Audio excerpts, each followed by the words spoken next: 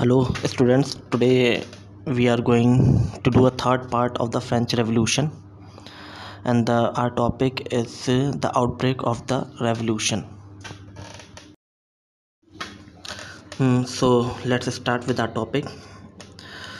Hmm, so from very first paragraph of the page number 8 louis 16 has increased to the taxes for the reason you have learned in the previous section how do you think he could have gone about doing this. In the france, the old regime, the monarch did not have the power to impose tax according to his will alone.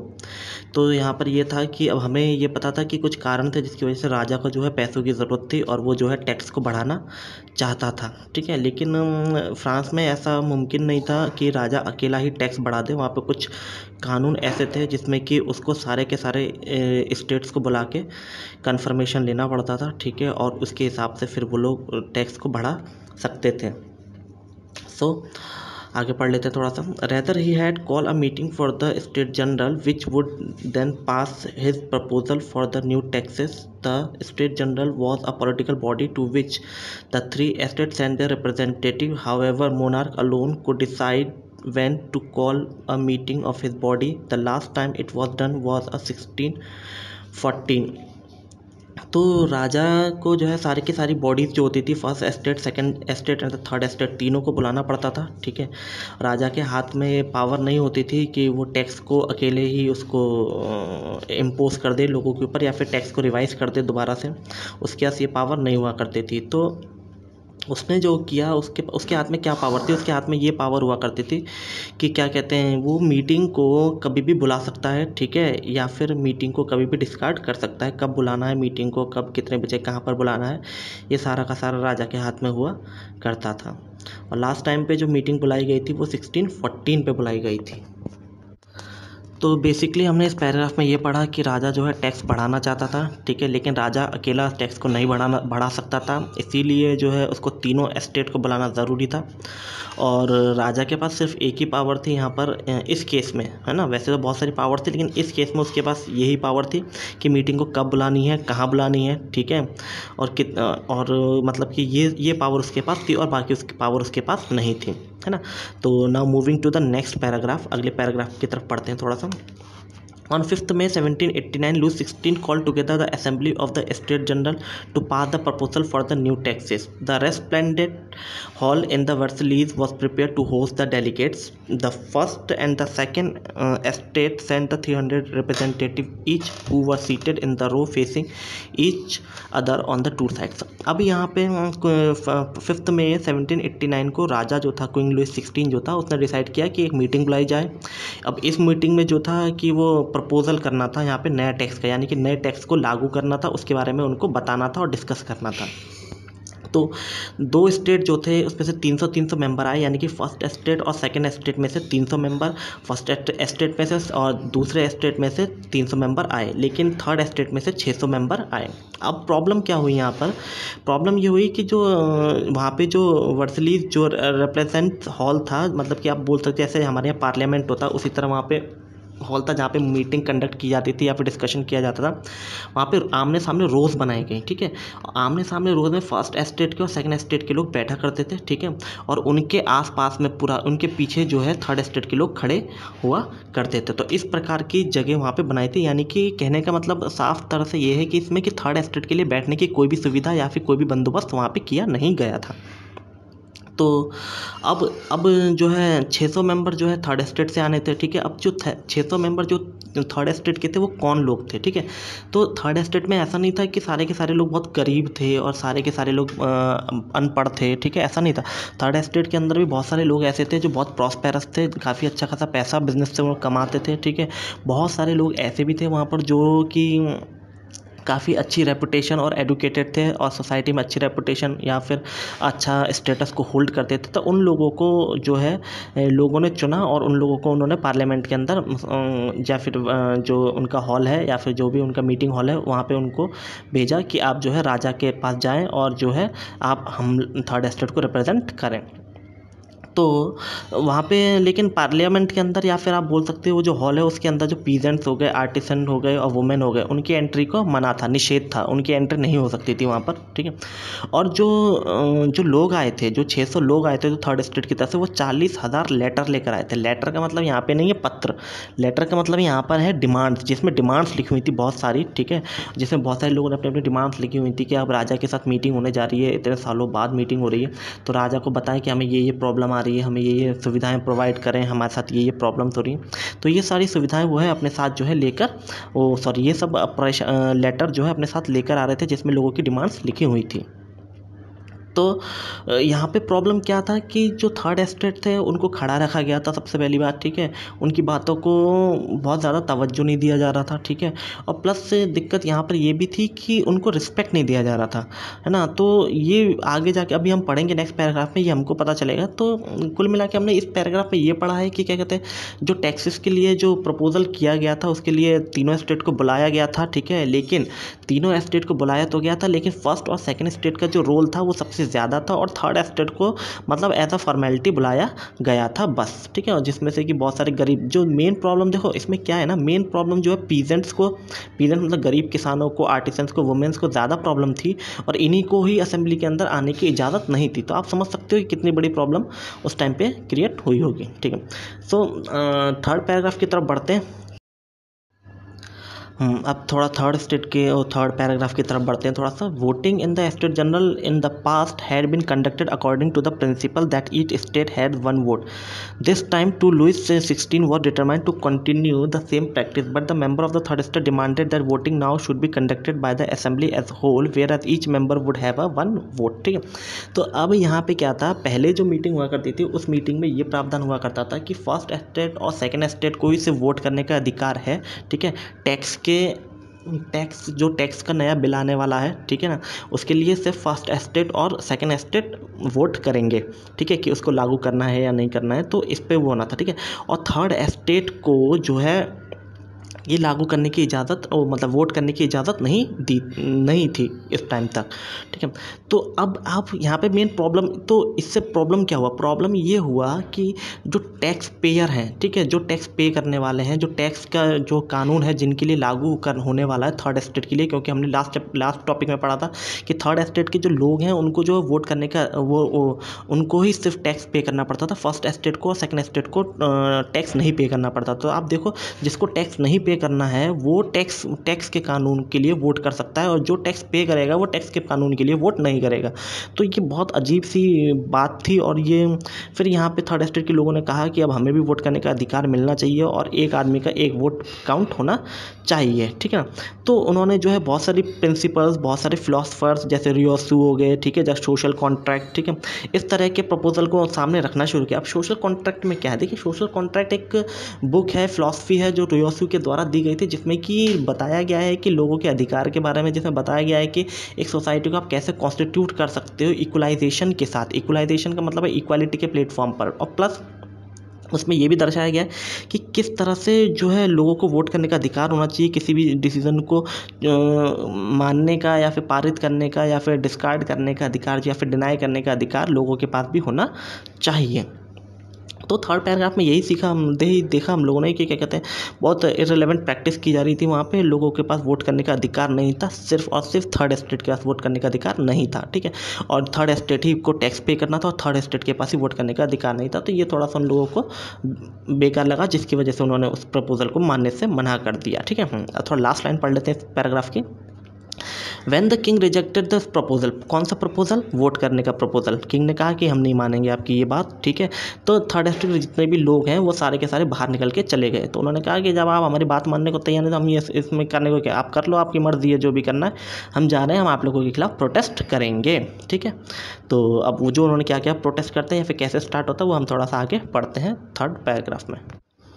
तो sorry third नहीं fourth paragraph में, ठीक है तो थोड़ा fourth paragraph की तरफ़ थोड़ा बढ़ लेते हैं. The representative of the third state viewed themself as the spoke person of the whole France nation on the twenty twenty June they assembled in the hall of an indoor tennis court in the ground of the Versailles declare themself of the national assembly and so not to disperse till they had drafted a constitution for the France ठीक है that would limit the power of the monarch ठीक है तो वो सबसे पहले उन्होंने वहाँ से निकले, ठीक है, और वहाँ से निकलने के बाद बीस जून को ठीक है?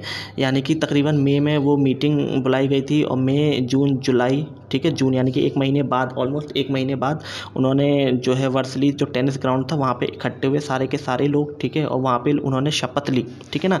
सोर सोर का मतलब होता है शपथ ली, ठीक है, कि जब वो तब तक नहीं बिखरेंगे, ठीक है, या फिर तब तक अलग नहीं होंगे जब तक वो फ्रांस का संविधान यानी कि कानून या फिर कॉन्स्टिट्यूशन को लिख नहीं देते, ठीक है? और इस कॉन्स्टिट्यूशन के तहत वो राजा की पावर को थोड़ा सा कम नहीं कर देते, तब तक वो अलग नहीं होंगे, ठीक है ना? और उन्होंने एक वो बनाई, अपना ग्रुप बनाया या एसोसिएशन या फिर संस्था बनाई संगठन बनाया ठीक है? तो इस ग्रुप को इन, इन संगठन को उन्होंने नाम दिया नेशनल असेंबली यानी कि उन्होंने कहा कि हम जो भी लोग हैं ठीक है हम लोग फ्रांस के पूरे होर फ्रांस के जो हैं आवाज़ हैं ठीक है ना? और हम ही लोग जो हैं फ्रांस का फ्यूचर जो है अब डिसाइड करेंगे। यहाँ पे दो लोगों का नाम बहुत इंपॉर्टेंटली लिया गया है। दे वर लेड बाय ठीक है मीरा ब्यू ठीक है एंड एबेसेस ठीक है। ये जो लोग थे, ठीक है, ये ये नोबल फैमिली के ही थे, ठीक है ना। अब ऐसा होता है कि बहुत सारे नोबल नोबल फैमिली का मतलब ये नहीं है कि जो सेकंड स्टेट से आ रहे हैं तो इसका मतलब ये नहीं कि सबके सब बुरे ही होंगे, ठीक है। ये नोबल फैमिली से ज़रूर ताल्लुक़ रखते थे, लेकिन थर्ड स्टेट के दर्द को समझते थे, ठीक है। इसीलिए वो थर्ड स्टेट के लिए लीडर बन गए, ठीक है, और वो ज़्यादा से ज़्यादा बाहर निकल कर आए। है ना? और उन्होंने कहा कि लो, नोबल फैमिली को जो है जो वो दिया जाता है प्रिविलेज दे दिया जाती है, वो सब चीज़ें नहीं मिलनी चाहिए और लोगों को समान का अधिकार होना चाहिए। ये सब उनकी नई सोच के लोग थे ये लोग, ठीक है? ये जो नोबल्स थे, ये नए सोच के लोग थे, जिन्होंने भी थर्ड स्टेट का साथ दिया और उन्होंने बोला कि हम जो है कॉन्स्टिट्यूट ये कॉन्स्टिट्यूशन को कॉन्स्टिट्यूट करने में ज़्यादा मदद करेंगे आप लोगों की। तो बस यही था इसमें, ठीक है? और नेक्स्ट पेज नंबर नाइन में बढ़ लेते हैं। फिफ्थ पैराग्राफ की तरफ़ आप बोल सकते हो, ठीक है, इस टॉपिक के अंदर में। तो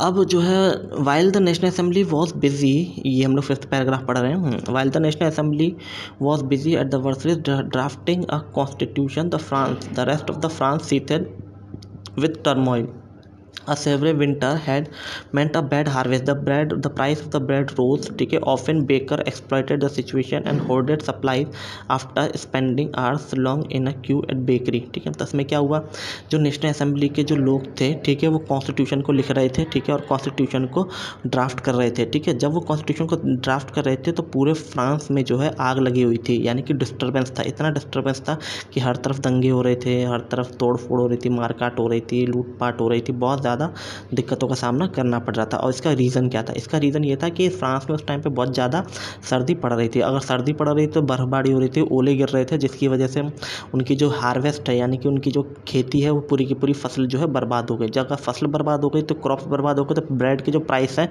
ऑटोमेटिकली बहुत तेज़ी से बढ़ने लग गए। Often baker exploited the situation ठीक है? उसके बाद बेकर जो थे, जो बेचने वाले थे बेकर जो थे, जो ब्रेड को बेचते थे, ठीक है ना? उन लोगों ने भी सिचुएशन का फ़ायदा उठाना शुरू करा, ठीक है ना? उन्होंने जो है उसको बहुत हाई रेट में बेचना शुरू करा। ठीक है? और जो है लोगों को बहुत ज़्यादा परेशान करने की कोशिश की। आफ्टर द स्पेंडिंग आर ठीक है? इसका मतलब है कि बहुत सारे जो वुमेंस क्या करती थी ना, बहुत सारे बहुत घंटों घंटों जो है बेकरी की लाइन में खड़ी रहा करती थी, ठीक है ना? और जब उनका नंबर आता था तो उनको उनको कह दिया जाता था कि ब्रेड ख़त्म हो गई है, अब आप चले जाएँ। तो जिसकी वजह से उनको बहुत ज़्यादा भूख का सामना करना पड़ता था, ठीक है तो एक दिन हो गया, दो दिन हो गया, ये काफ़ी चलता रहा चलता रहा। तो उसके बाद एक दिन क्या हुआ कि वुमेंस भी बहुत ज़्यादा गुस्से में आ गई, ठीक है? और गुस्से में आ गई, उन्होंने शॉप्स जो थी बेकरी की जो शॉप शॉप थे, उस पर हमला करना शुरू कर दिया शॉपकीपर्स पर हमला शुरू करना करना शुरू कर दिया। और बहुत सारी चीज़ों को तोड़ना फोड़ना शुरू कर दिया, यानी कि पूरे पेरिस में जो है और पूरे जो फ्रांस में जो है एक तरह से बहुत डिस्टर्बेंस क्रिएट हो गया, हर तरफ़ अफरा तफरी मची हुई थी।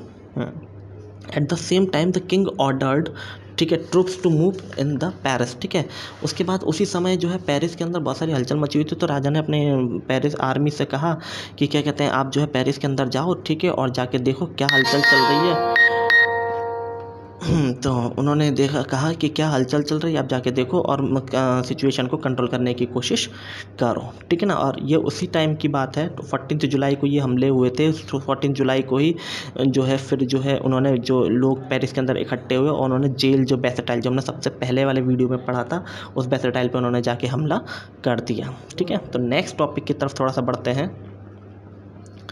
नेक्स्ट टॉपिक है इन next topic sorry next paragraph की तरफ़ थोड़ा सा बढ़ते हैं. In the countryside rumour spread village to village that the lord or the manor had hired the band of brigand who were on way to destroy the ripe crops ठीक है, उसके बाद अभी इसमें क्या हुआ था ना, बहुत सारे जो मैनर्स होते हैं, ठीक है, जो लैंडलॉर्ड्स होते हैं, ठीक है, वो उन्होंने क्या किया, उन्होंने उन्होंने उनको उनको बहुत ज़्यादा नुकसान पहुँचा है इन लोगों ने, फ्रांस के लोगों ने.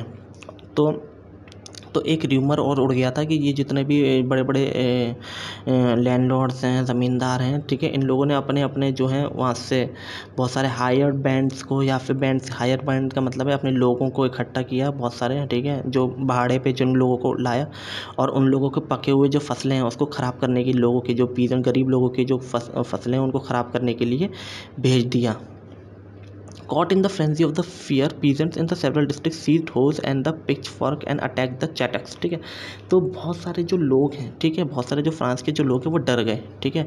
उन्होंने देखा कि जो लैंड लॉर्ड हैं ज़मींदार हैं वो तो अपनी अपने बहुत सारे लोगों को भेज रहे हैं हमारी फ़सलों को ख़राब करने के लिए। तो उनके पास जो फ्रांस के जो गरीब लोग थे उनके पास जो भी मिले हसिया हो गया या फिर चक्कू हो गया जो खेती के अंदर जो इस्तेमाल करते हैं छोटे छोटे जो भी धातु के हथियार वथियार हो गए उन सबको आपस में लिया ठीक है? इकट्ठा किया ठीक है? और उन लोगों ने जाके जो है, किसानों पर वो किसानों पर कह रहा हूँ ये, जो ज़मींदार हैं, इनके घर पर, ठीक है उनके रेसिडेंट्स पर किंग के, जो भी किंग के रिश्तेदार हैं, उनके घरों पर नोबल्स के घरों पर हमला करना शुरू कर दिया। उनके घर को आग लगा दी, बहुत सारे लोगों को, ठीक है, सारे डॉक्यूमेंट्स जला दिए। अच्छा ये डॉक्यूमेंट्स कौन से थे? ये डॉक्यूमेंट्स थे, जो जैसे ज़मीन को गिरवी रख देने वाले हैं ना, और भी ज़मीन उधार लिए थे तो वो सब डॉक्यूमेंट्स उन्होंने वहाँ पर जला दिए। और जो है, जो ग्रेन्स वहाँ पे जो जो ग्रेन्स हुआ करते थे तो ग्रेन्स को जो है उन्होंने वहाँ से लूट लिया। जो उनके गोदाम थे, उनके, उन पर हमला कर दिया और गोडाउन थे उन्होंने ज़्यादा का सादा का सारा वो सब लूट लिया। और बहुत सारे नोबल्स जो हैं अपने अपने घर छोड़ के भाग गए दूसरे दूसरे कंट्रीज़ में, दूसरे शहरों में जाके रहने लगे, क्योंकि वो डर गए थे कि पीजेंट जो है, बहुत ज़्यादा ख़तरनाक हो चुके हैं। ठीक है ना? बढ़ते हैं नेक्स्ट टॉपिक की नेक्स्ट पैराग्राफ की तरफ़। थोड़ा सा face with the power of his revolting subject Louis sixteen finally accorded recognition to the National Assembly and accepted the principle that his power would from now be checked by the constitution on the night fourth August seventeen eighty nine the assembly passed a decree abolishing the feudal system of the obligation and taxes member of the clergies too were forced to give up their privilege ठीक अब यहाँ पे क्या हुआ कि Qing Qing Louis sixteen जो है, अब तक समझ चुका था कि जो है, लोग जो है, बहुत ज़्यादा बागी हो चुके हैं और उसके मन में कहीं ना कहीं थोड़ा बहुत डर था कि अगर ये ऐसे ही चलता रहा तो मेरी सत्ता या फिर मेरे को भी नहीं छोड़ेंगे। तो इसलिए उसने क्या किया? जो नेशनल असेंबली बनाई गई थी, ठीक है, जो थोड़ी देर पहले तक इलीगल थी तो उसने उसको लीगैलिटी दे दी। उसने कहा कि चलिए ठीक है, आप नेशनल असेंबली फॉर्म कर सकते हो, जिसके थ्रू आप जो है अपनी बात को रख सकते हो। ये नेशनल असेंबली को आप, फॉर एग्जांपल, ऐसे ले सकते हो, जैसे इंडिया के अंदर कांग्रेस को बनाया गया था। कांग्रेस पार्टी बनाई गई थी ताकि लोग जो है कांग्रेस पार्टी के थ्रू अपने डिमांड्स को अपने ब्रिटिश के सामने रख सके। तो उसी प्रकार से वहाँ पे जो नेशनल असेंबली बनाने की इजाज़त दी और ये बोला गया कि आप मेरी जो पावर है, राजा ने बोला कि आप जो मेरी जो पावर है, आप उसको थोड़ा सा कंट्रोल भी कर सकते हो, ठीक है? इसमें अब कोई वो नहीं है, क्योंकि राजा डर चुका था थोड़ा सा। तो असेंबली ने बहुत सारे लॉस पास किए जिसमें कि उन्होंने कहा कि जो फ्यूडल सिस्टम है ठीक है? और ये सब चीज़ें इसको हटाया जाएगा, ठीक है? इसको जो है बिल्कुल भी लागू नहीं किया जाएगा और लोगों के साथ जो भी अत्याचार या फिर कुछ भी हो रहा है उस सबको ख़त्म किया जाएगा, ठीक है? और टैक्सेस के ऊपर थोड़ा सा उन्होंने बोला कि टैक्सेस को जो है, वो किया जाएगा कम किया जाएगा, ठीक है? और जो क्लर्जीज़ को और ये जो नोबल्स को जो पैदा होने के बाद ही उनको जो अधिकार दिए जाते हैं बिना बात के, ठीक है? तो वो हटाया जाएगा और सब लोगों को टैक्स देना पड़ेगा, चाहे वो कोई भी हो। फ्रांस के अंदर जितने भी लोग रहते हैं, जो फ्रांस का वासी है, उसको टैक्स देना पड़ेगा। तो ये सब चीज़ें इसमें हुआ, ठीक है? अब इसके बाद एक नया टॉपिक है, ठीक है? तो हम नया टॉपिक स्टार्ट करते हैं इसके बाद। तो नेक्स्ट टॉपिक है हमारा France become a constitutional monarchy अब कॉन्स्टिट्यूशनल मोनार्की क्या होता है? देखिए, दो तरह की मोनार्की होती है। सबसे पहले समझना बहुत एक होता है एब्सोल्यूट मोनार्की एब्सोल्यूट मोनार्की के अंदर में राजा होता है, ठीक है ना? लेकिन राजा जो है अपने मन की करता है। जो उसका मन है, वो करेगा, ठीक है? कॉन्स्टिट्यूशनल मोनार्की में भी राजा का शासन होता है, ठीक है? राजा होता है, लेकिन राजा जो है कॉन्स्टिट्यूशन के हिसाब से चलेगा, यानी कि संविधान के हिसाब से चलेगा, अपनी मनमर्जी नहीं कर सकता। तो अब इसी के बारे में थोड़ा सा पढ़ने वाले हैं, सबसे इसी के अंदर में। The National Assembly completed the draft of the constitution in the 1791 its main objective was to limit the power of the monarch these powers instead of being concentrated in the hand of one person were now spread and signed assigned to the different institution and the legislature and executive and judiciary ठीक है तो अगर आप, आप book ले लें अपने हाथ में तभी आप इस चैप्टर को मेरे वीडियोस को देखें जब आप जब आप मेरे वीडियो सुन रहे हैं आप बुक्स ज़रूर ले लें अपने हाथ में ठीक है ना ये बहुत इंपॉर्टेंट है आपके लिए तभी आपको समझ में आएगा नहीं तो आपको मुझे थोड़ा सा दिक्कत होगी फिर आपको समझने में भी। हो सकता है कि पिक्चर क्लियर ना हो इसमें वीडियोस में। हम्म, तो देख लें। तो नेशनल असेंबली बना दी गई। नेशनल असेंबली के बनाने के बाद National Assembly sorry National Assembly बना दी गई और नेशनल असेंबली बनाने के बाद नेशनल असेंबली ने जो है कॉन्स्टिट्यूशन भी बना दिया। अब कॉन्स्टिट्यूशन में जो मेन उद्देश्य था कॉन्स्टिट्यूशन का थी वो राजा की पावर को जो है मतलब कि बांट दे। ठीक है ना? रावर राजा की अब अब क्या है? राजा की पावर जब बढ़ गई तो अब एक आदमी के हाथ में पावर नहीं रही। ठीक है? अब एक आदमी के हाथ में पावर नहीं रही तो पावर किस किसमें बढ़ गई? लेजिस्लेटिव में एग्जीक्यूटिव में और जुडिशरी में पावर बढ़ गई। तो आप जैसे पिक्चर में देख सकते हो तो ये तीन हिस्सों में ये पावर जो है बांट दी गई। ये पिक्चर देख सकते हैं आप, अगर आप आपकी बुक है आपके पास पेज नंबर टेन में तो ये पिक्चर अगर आप देखें तो इस पिक्चर में आपको पता चलेगा कि जो है पावर जो है बांट दी गई है। है ना? तो आप देख सकते हो इस पिक्चर को, इसमें जुडिशरी है, अब एग्जीक्यूटिव है लेगिस्लेचर है, ठीक है? इसमें जो पावर को जो बांट दिया गया है। Come to the next topic next topic मतलब नेक्स्ट पैराग्राफ मैं बार बार सॉरी मैं बार बार नेक्स्ट टॉपिक बोल देता हूँ, ठीक है? नेक्स्ट पैराग्राफ पे आ जाते हैं पिक्चर के नीचे।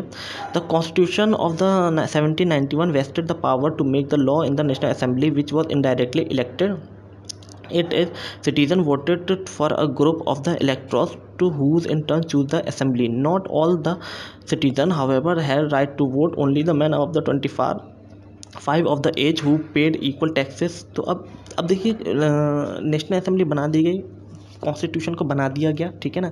और नेशनल असेंबली के अंदर जो भी लोग चुने गए थे, वो इनडायरेक्टली लेकर आए गए थे, ठीक है ना? और सिटीजन्स को जो है अब वोट करने का अधिकार भी दिया जाने लगा, ठीक है? लेकिन बहुत टिपिकल था वोट करने का अधिकार किसको दिया गया था, ठीक है ना? वोट करने का अधिकार सिर्फ़ उस टाइम पे सिर्फ़ आदमियों को था, है ना? वुमेंस को वोट करने का अधिकार तब भी नहीं दिया गया था, ठीक है? प्लस जो 25 साल से ऊपर के मैन हैं, वो वोट कर सकते थे, ठीक है? और जो ये जो मैन हैं 25 साल से ऊपर के, इनको वोट करने का अधिकार था और सिर्फ़ उन्हीं मैंस को वोट करने का अधिकार था जो टैक्स पे करते थे, ठीक है? जो टैक्स पे करते थे, उन्हीं को वोट करने का अधिकार था, ठीक है, और बाकी लोगों को वोट करने का अधिकार नहीं था, ठीक है। The remaining mans and all the womens were class in the passive citizen और इनको पैसिव सिटीजन बोला जाता था। पैसिव मतलब कि जो कि मतलब कि थोड़ा सा दूसरे दर्जे में जो आते हैं सिटीजन उसमें और उन लोगों को जो है टैक्स नहीं टैक्स पे नहीं करते थे और जो टैक्स पेयर नहीं करते थे तो उनको सिटीज़न भी अच्छे से, जो सिटीज़नशिप की जो रिकॉग्नाइजेशन है वो भी अच्छे से नहीं दी जाती थी, ठीक है। तो नेक्स्ट पेज पे आ जाते हैं और इस टॉपिक के अंदर में last paragraph page number eleven पर आ जाते हैं यहाँ पे. The constitution began with the declaration of the rights of the man and the citizen rights, such as the right to freedom, right, freedom of speech, freedom of opinion. तो ये सब जो अधिकार हैं लोगों के राइट टू अब ये डेक्लेरेशन बनाया गया। डेक्लेरेशन क्या होता है? Declaration is just like a proforma एक परफॉर्मा होता है, ठीक है, जिसमें कि लोगों के अधिकार लिखे हुए हैं। जो सिटीजन है, उनके अधिकार लिखे हुए हैं, ठीक है। कुछ बेसिक अधिकार के बारे में यहाँ बात की गई है, जैसे राइट टू लिव सबको अपनी ज़िंदगी जीने का अधिकार है, बोलने का अधिकार है, अपनी राय को रखने का अधिकार है, अपने विचारों को प्रकट करने का अधिकार है। सारे के सारे जो लॉ के सामने जो है इक्वल होंगे। ठीक है ना? और कोई भी आदमी, ठीक है? They belongs to each human being ठीक है? सारे के सारे जो लोग हैं, आम आदमी हैं, ठीक है? और कोई भी जो है ऐसा नहीं है कि कोई राजघराने में पैदा हुआ है तो उसको अलग से कुछ सुविधाएँ दी जाएँगी, कुछ उसको कुछ अलग से बेनिफिट दिए जाएँगे, उसको कुछ अलग से जैसे कानून में कुछ ये दिया जाएगा, ऐसा कुछ नहीं, ठीक है ना? सबके सब जो है नॉर्मल कर दिया गया था कॉमन पीपल्स के अंडर में आते थे और सब लोगों को कानून का पालन करना पड़ता था। It was the duty of the state to protect the और ये स्टेट की स्टेट का मतलब उस कंट्री के सरकार के गवर्नमेंट की ज़िम्मेदारी हुआ करती थी कि जो कंट्री के जो इंटरेस्ट है या फिर कंट्री का जो सिटीज़न है, उनको प्रोटेक्ट किया जाए। ठीक है? तो अगर आप देखें पेज नंबर इलेवन में राइट हैंड साइड पर डिक्लेरेशन ऑफ़ मैन है, ठीक है? आप इसको पढ़ लें थोड़ा सा ठीक है? पहला डिक्लेरेशन देखिए, अगर आप देखें तो इसमें लिखा man and womens man are bond free and remain free and and equal rights and have equal rights उनको इक्वल राइट्स होने का तो इस प्रकार से बहुत सारे डिक्लेरेशन इसको लिखे हुए हैं तो आप इसको पढ़ सकते हैं, ठीक है?